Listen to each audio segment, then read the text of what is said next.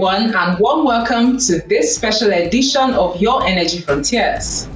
During the Finding Petroleum webinar, which was held on June 24, the executive chairman of the African Energy Chamber, NJ Ayuk, talked about what Namibia needs to do to maximize recent oil and gas discoveries in the southern African country. This special edition focuses on valuable insights gained from the webinar. Take a listen. Namibia is one of the best hydrocarbon plays. I think we had always been hoping and dreaming for something big to happen in Namibia. And now the country has been very successful. Where do we go from here? That's always a big question. We go, we are the place where you have a government. And the big question you're going to ask is can Namibia make the same? Is Namibia going to make the same mistakes like what we've seen with the other African countries? Is Namibia going to be the next Nigeria or Namibia is going to be the next Angola or Namibia is going to not be able to develop gas or what is what is that going to happen? We have to look at the fundamental structures. The fundamentals in Namibia are good.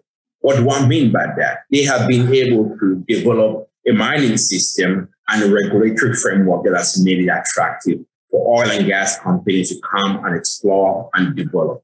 They've built a system of checks and balances that already exists within the countries. And it's one of the countries in Africa that has least corruption to today. Wherever officials have acted improperly, they have been dealt with. And I think that gives me hope of that Namibia can, can, can rise to this occasion. But then we have to also look at, look at issues around policy. How do you fast track these developments? What do you do when uh, during a period where we're seeing a big trend around the world dealing with climate change, energy transition, gas flaring, and how we're going to drive that. Yes, what is you, you, you, might, you are likely to see?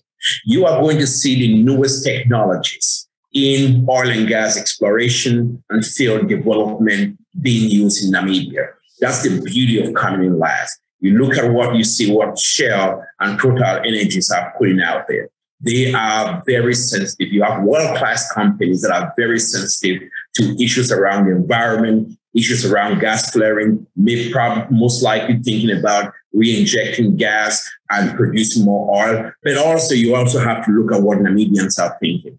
Namibians are probably are thinking right now of the big advantage of using gas. They've already entered into agreements with um, Zambia on how you're going to build a pipeline and use gas and that gas could really move into Zambia and take and really power the mines. Namibia is already using a lot of um, coal out of South Africa to power the country. It's a big advantage of using gas to, do to for domestic um, power power generation.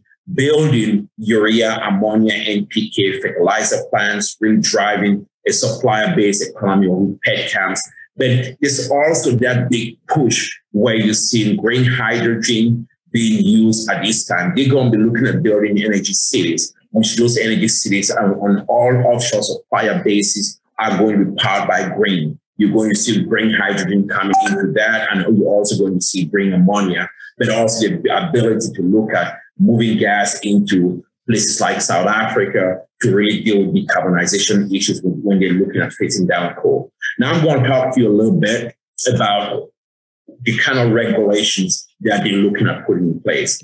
Those regulatory frameworks is really, really important. And Namibia has done very good when you look at the yeah, petroleum sector with the Petrofund and where they've had support from the oil and gas companies to really train people. But that's not enough. A lot more needs to be done. You need to look at continuing a regulatory framework that makes more attractive for people to continue ongoing exploration and ongoing investment on people, incentivizing local content. We can't look at local content like the same way we look at the past. You got to look at local content from a, from a viewpoint of empowering people to create market driven policies that you can reshape the economies and expand the tax base for a lot of people to get jobs, opportunities, and grow. But bigger than that, we got to look at taxes, making sure that we create a tax framework for oil and gas to ensure that production can continue, but also service companies can, can work. We got to look at and have a very firm, firm policies around gas flaring and around the um, environmentally sound ways to produce this. I do believe, from a chamber perspective, that there is big hope and big opportunities to reshape well, um, an energy sector in Namibia and really close that divide between struggle and success. Does a capacity exist for the Namibian government to change the terms of uh, the licenses? Um, I don't think it's an issue of them changing the terms of the production sharing contracts before development, development plans have been made. Because we have to be very careful to respect the sanity of contracts. It is supreme, it is key. Namibia has operated on that same principle of respecting the sanity of contracts.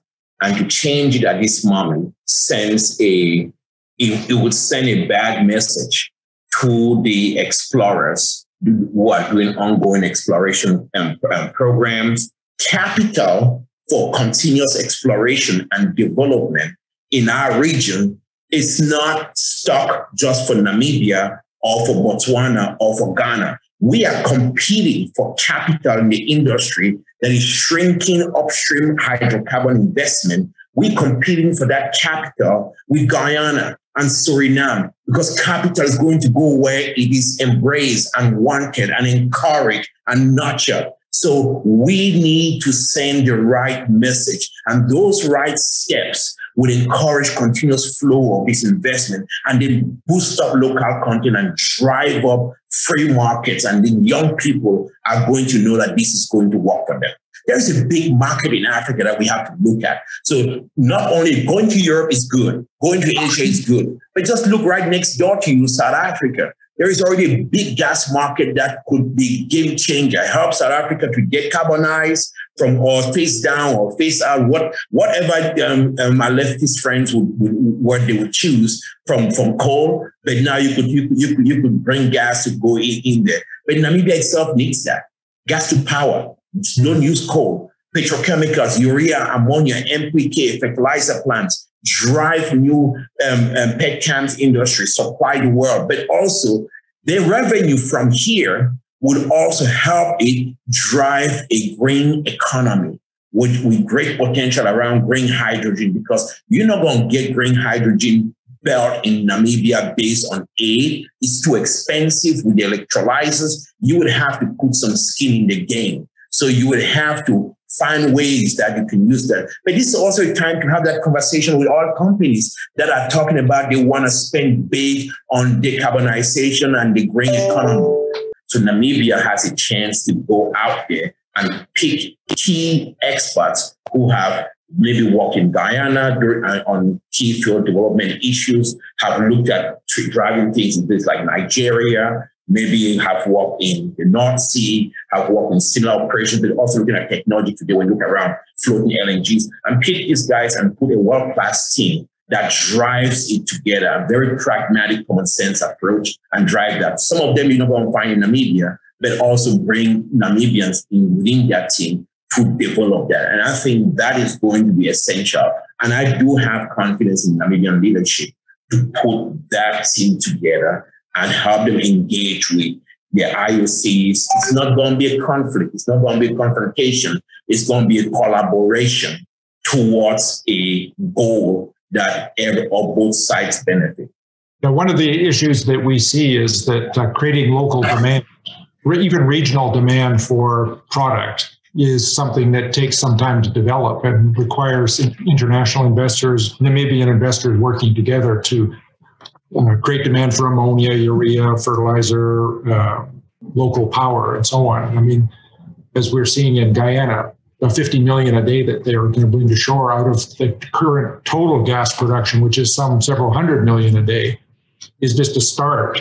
But even that, Guyana is a small country compared to Namibia. They don't have enough demand even to use up the power from that small amount of gas. So they're going to have to you, deploy that into international markets like Brazil and neighbors and so on, which requires international agreements. And that's one of the things that Namibia, I'm sure from what you're saying, is already thinking about with their arrangement with Zambia and probably with, I know that some of the drilling activities were managed from Angola.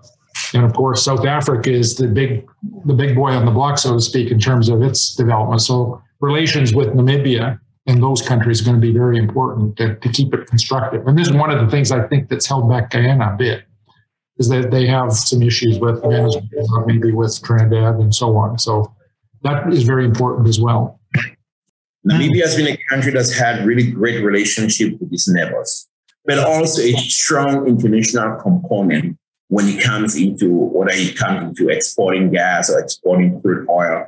It's also part. And the vision of them seeing that they have a role in global energy stability and security, it's already impressive that these small countries see itself playing that role they have already created fundamental base uh, fundamentals which the IOCs and foreign experts and others will be able to build upon. It's not going to be an easy job. It's going to be a lot of work. It's going to be tough, but then you really need to embrace it and drive it faster because also knowing the climate that we're in and their big role.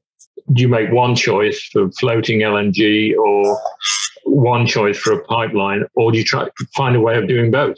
And I, I guess, NJ, you may know this, but um, the plans for Kudu are presumably, uh, I mean, to start producing from there relatively soon. I mean, relative to what we've just been talking about. I think what I know is that the leadership um, there, especially my good friend from NAMCOR, um, has been very clear that they made a mistake in not moving on Kudu. And this is also, I think, it's, it's, it's like Europe and the Russia problem, where when you get cheap energy out of uh, the other side, you don't really move. So they had a cheap um, uh, energy out of South Africa, and so Kudu was more expensive. But now there is critical mass to really develop Kudu. Kudu is going to be developed in Namibia. They will build upon that. There's a chance that you're going to see floating LNG. They are already moving fast there is you've seen appraisals, appraisal wells that are going to come from both Total Energies and from Shell, uh, most likely this year. That is a very, very positive step. I mean, and also Namibia, from where it starts, you're going to see a lot of high. So, I mean, at least three or four of the high impact wells in Namibia. I'm sorry, in uh, um, in um, we at the chamber, we estimating about nine, nine high impact wells this year. Three or four of them are going to come out, um, out of Namibia. That's huge. So I do think though that a lot is going to be seen given how proactive the companies and the government are moving. With Kudu Gas, I do think, yes, there is a strong willpower to do that. But I think there's going to be, there will have to be some serious conversations between NamPower, which could be a potential off-taker, and really doing that. But look at also what is going on with Recon Africa and their potential to find onshore gas in Namibia. If they have commercially um, quantified onshore gas in Namibia, um, that is also going to be a big game changer and the government will have to ramp things up and really have some straight, some real gas plans on how to monetize gas and the, the entire, but it should not be seen as a time to hold back and spend much time on the paralysis of analysis.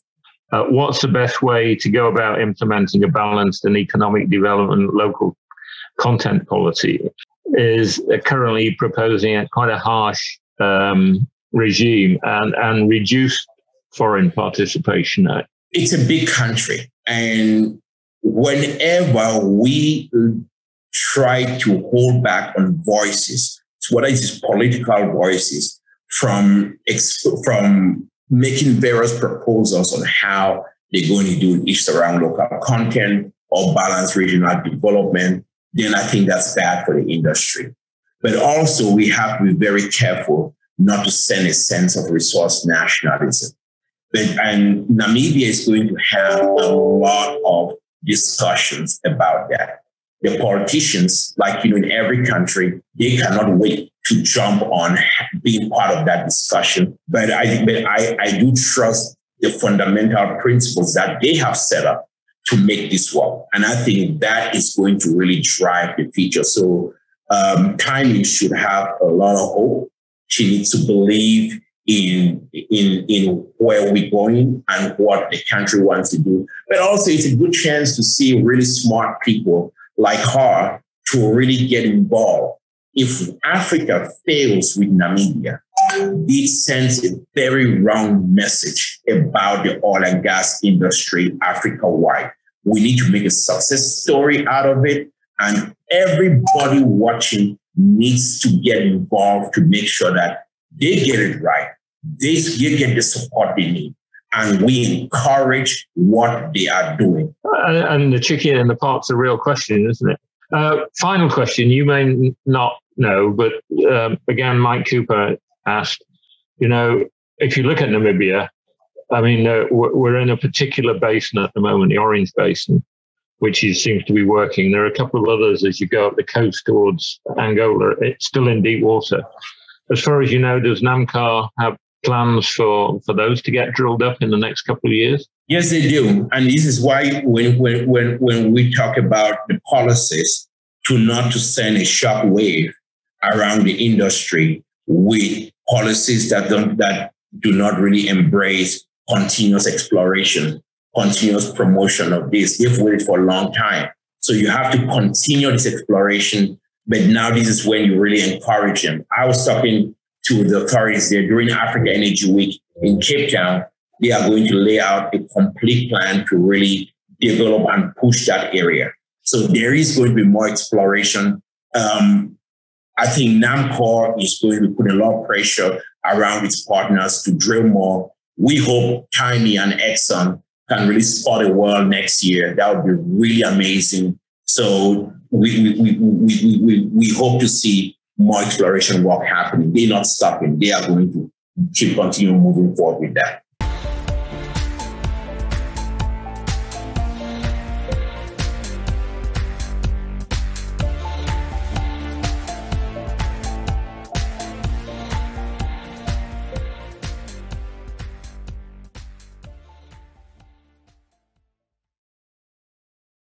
And that is the package for this edition of Your Energy Frontiers. And we thank you for watching. You can follow the show on the Frontier Africa Reports website and across all our social media handles as shown on the screen. It is goodbye from me, Omana Okonkwo, and I will see you next time.